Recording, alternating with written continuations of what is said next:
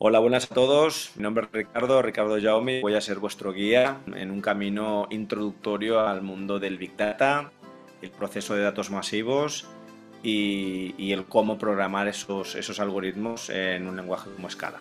Vale, empezamos por el lenguaje que vamos a utilizar. Es un lenguaje eh, multiparadigma. ¿Qué significa multiparadigma? Que soporta los paradigmas más importantes de la programación, que son paradigma funcional, es decir, programación basada en funciones, y paradigma orientado a objetos, es decir, programación basada en objetos. Por tanto, Scala es uno de los lenguajes más potentes que se pueden utilizar para escribir algoritmos relacionados con Big Data, con el procesamiento de datos masivos. Eh, Scala, por otra parte, es un lenguaje eh, potente y de origen matemático, por tanto tiene una curva de aprendizaje un poco más elevada que quizá algún otro lenguaje que se dedica a estos menesteres como puede ser Python. ¿vale? ¿Qué más veremos en este curso? En este curso veremos el motor, es una de las estrellas del curso, es el motor de procesamiento de datos masivos llamado Spark. Es un proyecto Apache, es un proyecto open source y sirve para, eh, digamos, eh, procesar en paralelo sobre muchísimos millones de registros, muchos datos, por tanto Big Data, em, procesar datos, ¿vale? hacer los, los procesos que nosotros entendamos eh, más importantes. ¿De qué va Spark? Spark tiene eh, una parte básica, una parte core que se suele llamar, y luego una serie de módulos. Una serie de módulos, por ejemplo, que son Spark SQL, Spark Streaming y Machine Learning, entre otros. ¿Qué veremos en este curso? Aparte de ver el lenguaje Scala, una introducción, aparte de ver el engine, veremos cómo hibridar, cómo hilvanar los dos mundos, Spark con Scala.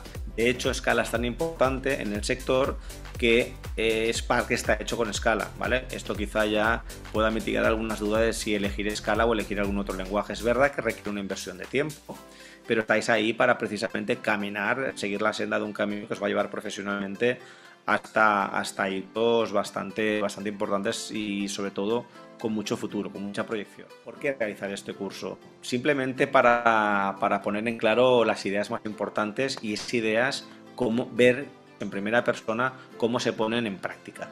Simplemente por eso ya podría ser una buena excusa para realizar este curso. ¿Qué sabrás al terminar el curso? Pues al terminar el curso sabrás eh, hablar saber de lo que hablas, que no es poco, ¿vale? En este mundo donde hay mucho humo, sabrás de lo que hablas desde el punto de vista, eso sí, la gorra de desarrollador, ¿vale? Este curso no quiere ser otra cosa que daros una perspectiva desde el punto de vista de desarrollador. Big Data es muy grande, tiene muchas fases y una de las fases es que alguien tiene que crear algoritmos que procesen los datos, pues vosotros podréis estar por lo menos iniciando la senda. Por tanto, al terminar este curso podréis iniciar una senda con algunos conceptos eh, claros y esos conceptos haberlos trabajado de forma práctica.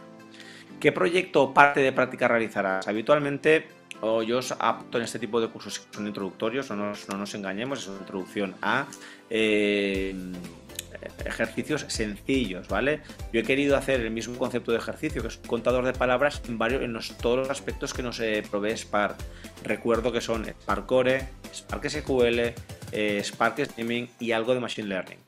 Por tanto, ese proyecto de contador de palabras en varias versiones, en varias fases. Oportunidades laborales, todas las que vosotros queráis.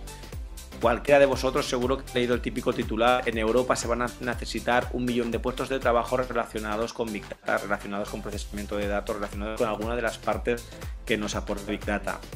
Big Data además no es sectorial, sino es multisectorial.